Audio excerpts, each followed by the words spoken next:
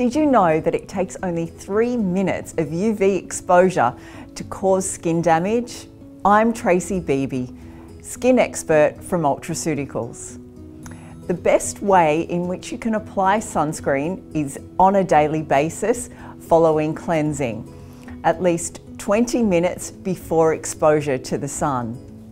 It's always important to follow TGA required guidelines to applying your sunscreen.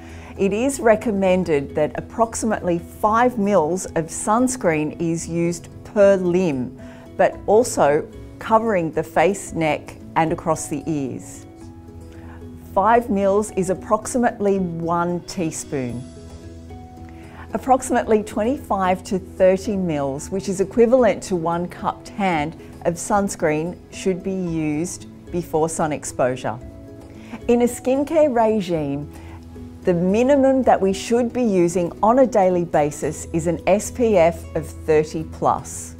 If we are being exposed regularly, like if you're at the beach, it is really important that that sunscreen is reapplied every two hours. No matter what skincare you use, the most important thing is to apply your sunscreen every day.